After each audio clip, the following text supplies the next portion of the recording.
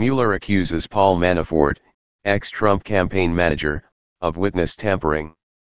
U.S. Special Counsel Robert Mueller on Monday accused Paul Manafort, a former Trump campaign manager, of witness tampering. What are the details? In Monday's court filing, Mueller who was appointed to investigate any collusion between Russia and the Trump campaign said that Manafort attempted to tamper with potential witnesses.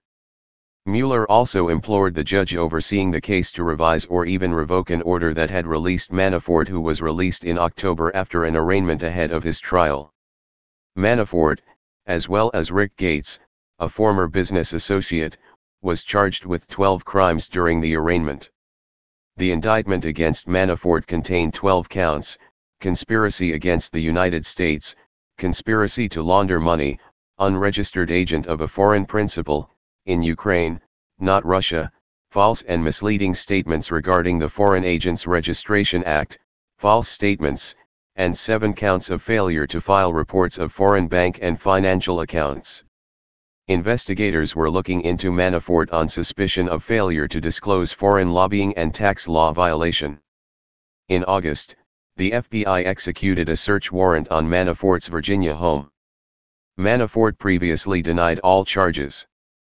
According to a New York Times report, however, FBI Special Agent Brock Domin said that Manafort attempted to contact two people from the Hapsburg Group, a European firm Manafort previously worked with to promote Ukrainian interests.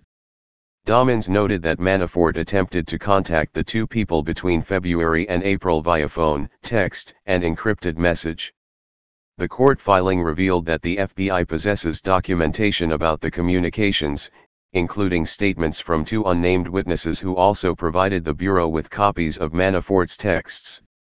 The FBI reportedly recovered much of the information in a search of Manafort's Apple iCloud account. According to Domin, Manafort's communications were an effort to influence their testimony and to otherwise conceal evidence. The investigation into this matter is ongoing, Domin added. Mueller is now requesting that the presiding judge revise or revoke Manafort's $10 million bail which could result in Manafort going to jail, rather than continuing to be confined at home. Manafort's first trial, which will take place in Washington, D.C., is set to begin September 17.